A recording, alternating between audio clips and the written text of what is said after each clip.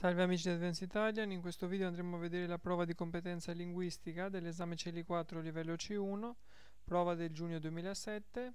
Questa parte dura un'ora e 15 minuti, ci sono quattro esercizi eh, con ehm, quattro esercizi diversi l'uno dall'altro. In questo video andremo a vedere i primi due, poi in un video successivo analizzerò anche i restanti due esercizi. Qui avete un testo e alcune, alcuni spazi da eh, completare con eh, parole che non vi vengono date, dovete trovarle voi leggendo appunto il testo. Questo non è mm, tra gli esercizi più difficili del, del compito. Una nuova spiegazione della scarsa presenza femminile in, par- femminile in Parlamento. Politica non è il maschilismo a frenare le italiane. Se non eh, riuscite a rispondere ad una determinata parola, continuate a leggere la frase perché solitamente capendo il senso della frase si riesce a trovare anche la parola. Siamo abituati a pensare che se le donne sono assai poco presenti nel Parlamento italiano, ciò avvenga innanzitutto a causa delle resistenze e dei pregiudizi maschili, pur negare il peso delle une e degli altri pur senza negare. Quindi ehm, nonostante il peso delle une e degli altri è chiaro che si tratta di una spiegazione insufficiente dato che eh, da 60 anni le donne esercitando il di voto esercitare il diritto di voto il voto è un diritto che viene esercitato. Condividono con gli uomini la responsabilità di inviare Camere un'esigua rappresentanza femminile, di inviare alle Camere, la rappresentanza si invia alle Camere. Ehm, ora il libro di una giovane ricercatrice, Giulia Galeotti, ricostruendo la delle battaglie che hanno portato al suffragio femminile, ehm, ricostruendo ehm, la storia o la cronologia delle battaglie che hanno portato al suffragio femminile fornisce una spiegazione piuttosto originale di questo fenomeno. Ad ostacolare la in politica eh, delle donne italiane, la presenza in politica eh, delle donne italiane o la partecipazione in politica delle donne it- italiane o anche la vita, perché si parla di vita politica, ad ostacolare la vita in politica, ma forse no, vita perché dovrebbe essere vita politica, non vita in politica. Ehm, presenza o partecipazione delle donne italiane, osserva l'autrice, sono state in fondo la, eh, modalità, le modalità stesse con cui il voto fu concesso nel 1946 tutto in, un, in una tutto in una volta, tutto insieme, tutto in un insieme, tutto in una volta. In, al- in, molti altri paesi l'estensione del suffragio aveva rappresentato un processo graduale, perciò l'insieme delle società aveva avuto tempo e modo di abituarsi gradualmente alla presenza in politica delle donne sia come che come elette, sia come elettrici, coloro che votano, che eleggono, che come elette, come eh, deputate o eh, parlamentari. La concessione eh, del voto alle donne senza nessuna eh, gradualità produsse in una società come quella italiana conseguenze che si fanno sentire ancora oggi, tutt'oggi. Però tutt'oggi è una parola, quindi ehm, siccome sono due in questo caso, la 11 è separata da oggi, dobbiamo mettere anche oggi. Eh, o ancora oggi o anche oggi. Eh, conseguenze che eh, si possono così riassumere gli uomini in Parlamento sono percepiti come rappresentanti di tutti i cittadini, le donne soltanto come portavoce del genere femminile. Le donne invece soltanto come portavoce del genere femminile. Insomma, nostro immaginario collettivo, nel nostro immaginario collettivo, le donne rappresentano soprattutto le donne, l'idea ben testimoniata del, eh, dal che generalmente vengono assegnati alle donne eh, ministeri di ambito sociale, familiare e educativo. Un'idea ben testimoniata dal fatto, è un fatto, è un dato di fatto, o anche dal dato, dal dato che eh, generalmente vengono assegnate alle donne, ma dal fatto suona meglio. Qui invece avete degli spazi e delle frasi che devono essere inserite all'interno di questi spazi per completare il significato. Sono um,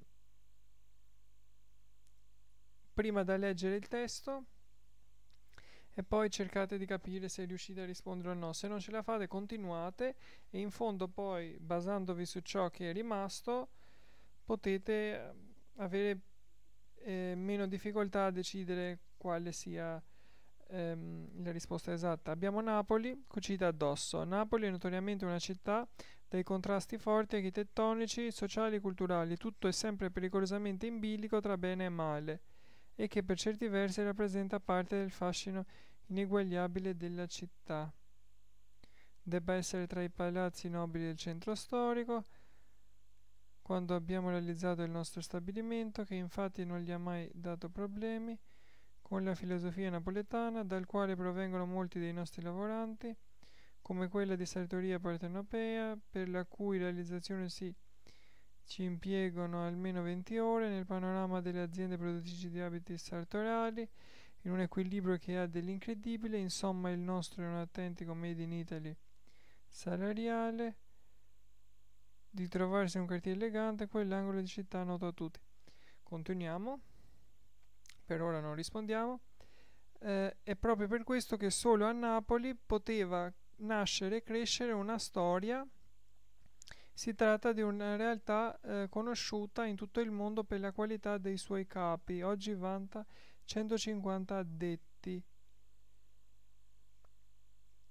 Poteva nascere e crescere una storia come quella di Sartoria Partenopea, quindi F. Si tratta di una realtà conosciuta in tutto il mondo per la qualità dei suoi capi, oggi vanta 150 addetti, un fatturato di, di 8,5 milioni di euro, la sede di una simile realtà di nicchia si immagina e invece no, è assolutamente in linea con un'azienda del livello di sartoria partenopea. Scelga il quartiere popolare, quindi un, ha scelto un, un quartiere popolare, ma probabilmente si immagina qualcosa di più. Si immagina che debba essere tra i palazzi nobili del centro storico, A, invece no, è assolutamente in linea che un'azienda del livello di sartoria partenopea scelga il quartiere popolare, popolare di Scondigliano come sua sede, Sulla, assolutamente in linea che un'azienda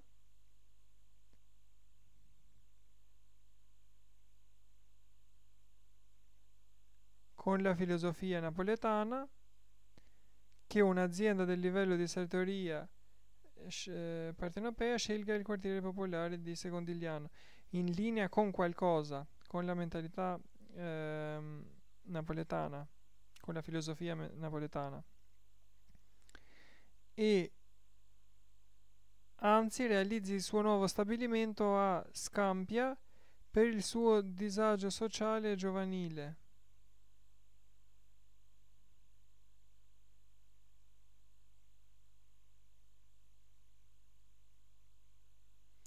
Lasciamolo. Dice il direttore dell'azienda Biasi eh, Scandigliano era la nostra sede storica e non abbiamo voluto tradire questo quartiere. Storica e quando abbiamo realizzato il nuovo stabilimento B non abbiamo voluto tradire questo quartiere 21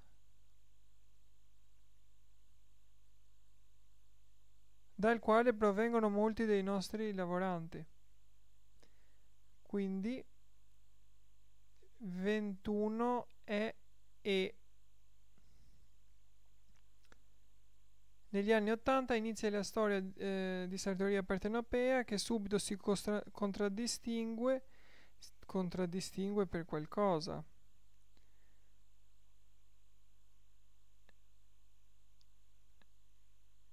Nel panorama delle aziende produttrici di abiti sartoriale si contraddistingue l'intera produzione continua Blasi viene realizzata a Napoli. Per le nostre creazioni impieghiamo solo materie prime nazionali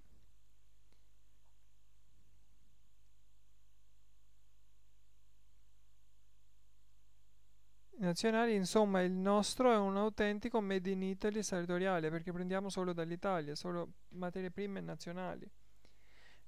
Eh, quindi la 23 era L, sì. 24 giacche realizzate interamente a mano, un piccolo capolavoro che rende unico ogni capo a mano per la cui realizzazione si impiegano almeno 20 ore perché per farla a mano ci metti molto tempo. Quindi G 24G abbiamo detto che 15 la prima il 15 e 19 non abbiamo risposto e sono rimaste C I E ed M quindi vediamo quale di queste quattro appartiene alla 15. Napoli è notoriamente una città dei contrasti forti architettonici, tutto è sempre pericolosamente in bilico fra bene e male e che per certi versi rappresenta parte del fascino ineguagliabile della città. In un equilibrio che ha dell'incredibile e che per certi versi rappresenta parte del fascino ineguagliabile della città, questo inequilibrio eh, che rappresenta questo equilibrio che rappresenta l'incredibile. Adesso I l'abbiamo già detto, abbiamo C, M e E per 19.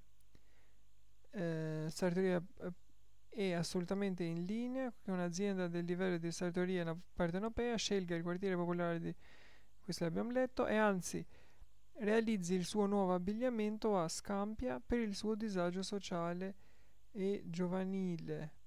Cosa ha a che vedere col disagio sociale e giovanile? Uh.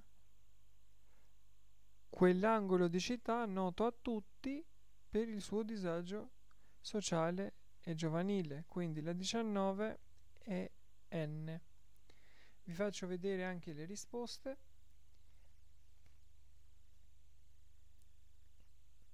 Quindi questa è la C1 avete un punto per risposta esatta meno 1 per risposta sbagliata. Questa è la C2 qui non avete penalizzazioni se lasciate in bianco ma nemmeno se rispondete in modo errato. Spero che il video vi sia piaciuto. Mettete un mi piace al video iscrivetevi al canale scrivetemi cosa ne pensate di questa prova e ci risentiamo nel prossimo video. Ciao!